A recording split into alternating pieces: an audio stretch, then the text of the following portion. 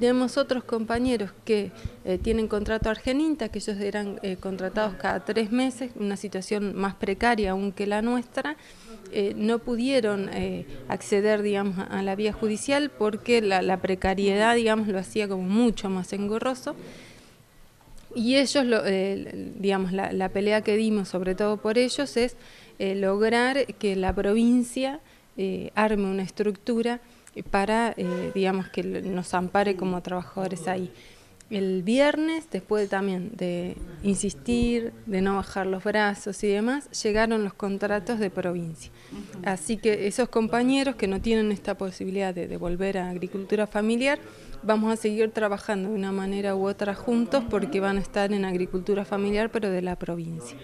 ¿Qué, por cuánto tiempo los contratos?